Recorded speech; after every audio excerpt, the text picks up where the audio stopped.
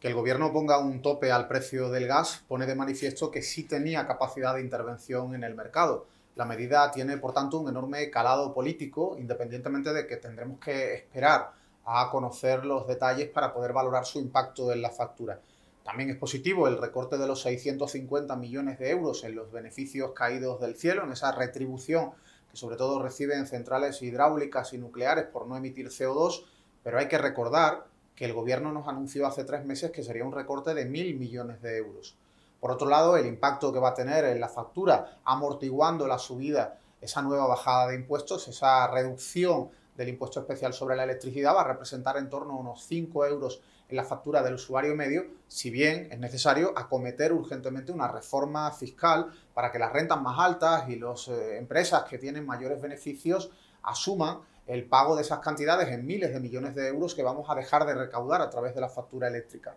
Y por supuesto, la gran reforma del bono social que es necesaria queda pendiente. Proteger al consumidor vulnerable no solamente es prohibir cortes de suministro, sino que hay que poner en marcha un protocolo por el cual la nueva tarifa social pueda ser para millones de consumidores y además implique descuentos en la factura muy superiores a los que tenemos en la actualidad.